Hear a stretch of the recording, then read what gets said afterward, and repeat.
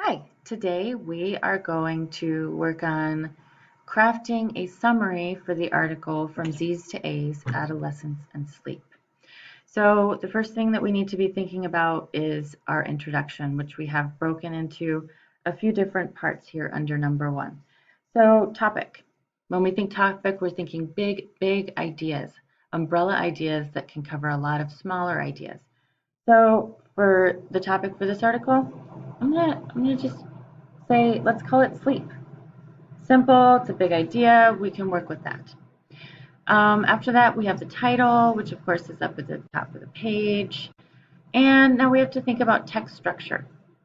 Um, the structure for this particular article is problem and solution.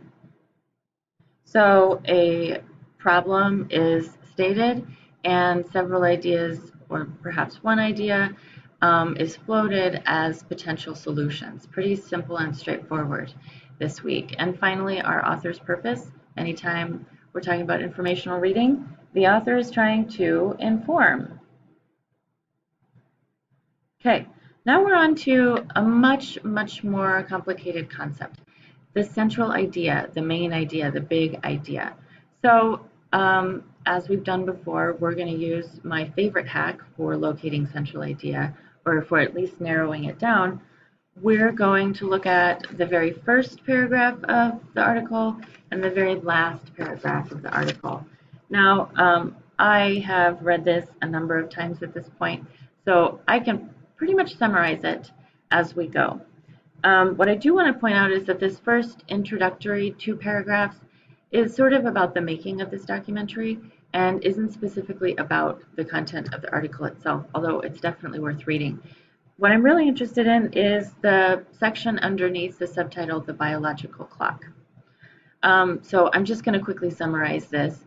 And I think that the gist of it is that researchers always believe that the more tired you were, the more sleep that you needed or uh, that the body would automatically allow you to get enough sleep to replenish.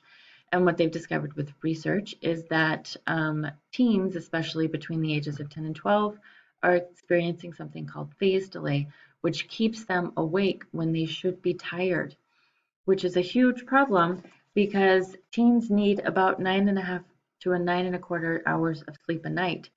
Um, so among other issues such as after school activities, early school start time, teens um, are having a hard time getting that enough sleep and then they end up in what the article phrases as sleep debt. So let's go to the last paragraph. I kind of I went over the first paragraph there. I sort of summarized the whole article, didn't I? So the very last paragraph, such a wealth of information because a good author is going to summarize everything for you in a way that's simple and consolidates what we've learned. So let's go ahead and read this. Sleep research not only points out the importance of sleep to teenagers, but explodes some of the myths around sleep, principally the idea that people need less and less sleep as they grow up. There are many factors in the lives of adolescents that elude their control. Sleep is one area where the lessons are clear and the benefits of following them are quickly apparent. Okay, so what we know from this last paragraph is that sleep is incredibly important.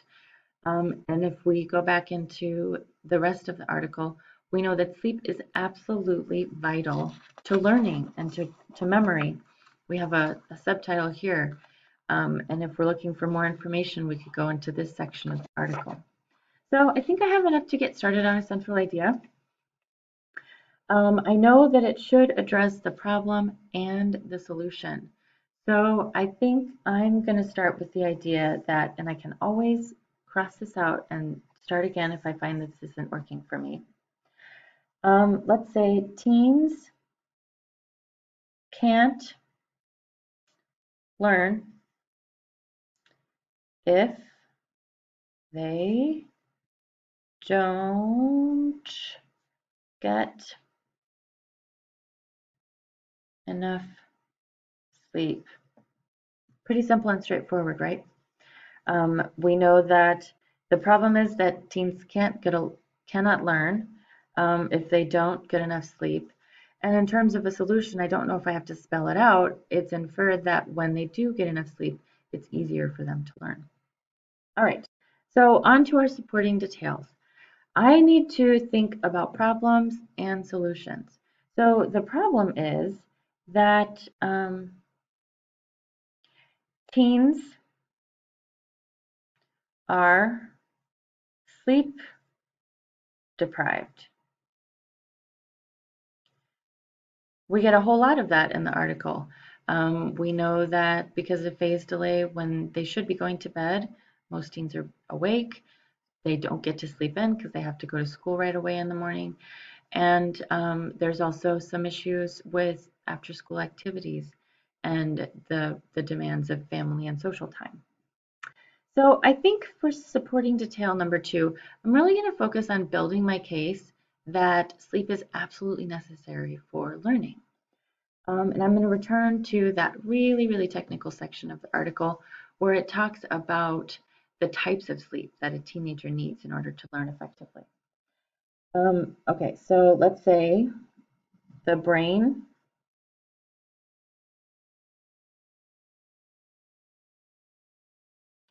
consolidates and um, so the article says practices. I like the word rehearses. The brain consolidates and rehearses um, learning during two types of sleep. I'm going to do a little colon there. I'm going to get fancy. Slow wave and rapid eye movement, which I am going to use the acronym for rapid eye movement. Okay, now we are on to our last supporting detail. So we've got the problem, teens are sleep deprived. We've got a little evidence about to support the idea that learning takes place during sleep. Now I need something that addresses the solution. And I'm thinking about that last section about um, ways that teens can get more sleep, better quality sleep. Um, and we know that teens need about nine and a quarter hours. So I'm going to start with that. Um, I could do this a lot of ways. I could say um, teenagers should turn off their electronics before going to bed in order to get nine and a quarter hours of sleep. I could flip it. In order to get nine and a quarter hours of sleep, teens uh, should turn off their electronics before going to bed. I think I'm going to go in that direction. But what I wanted to show you there is just me sort of talking through what's going to sound best for me. Sometimes we have so many ideas in our head and the only way for us to start to organize them is to just say them out loud and talk through it. Teens can get nine and one quarter hours of sleep by turning off electronics, whoops, before going to bed. So as I look at this, what I'm noticing is that this is only one solution for teens to get enough sleep. Obviously, there's a number of reasons we, we don't get enough sleep. And this seems a little too simplistic for me. So I think what I'm going to do is um, I'm going to change the beginning a little bit. I'm going to say that one way that, and of course, instead of a capital T, I need a lowercase t, one way that teens can get nine and a half hours of sleep is by turning off electronics before going to bed. Okay, so we've got our introduction. We have our topic sentence or central idea. We have three super solid supporting details. Now we need to move on to our conclusion, and this is the part that you are going to work on independently this week. So the conclusion restates the topic sentence. I don't want you to give me the exact same sentence that you used at the beginning of the summary. I want you to restate it. So you might choose to uh, use some synonyms in place of important words. You might choose to flip your subject and object. Um, so instead of saying teens can't learn if they don't get enough sleep, you could say something like sleep is important um, for teens to learn. You get the idea. So you're going to do that, and then you're going to go back one, two, three, and four in order to craft your summary in paragraph form. So uh, this has been just a real quick tutorial to get you back um, into the loop in terms of summarizing the article adolescents and sleep. Don't forget to uh, write in complete sentences throughout the graphic organizer, and then you can just um, transfer it right into your summary. It's going to be really easy and simple for you. All right, well, I look forward to reading your summaries later this week.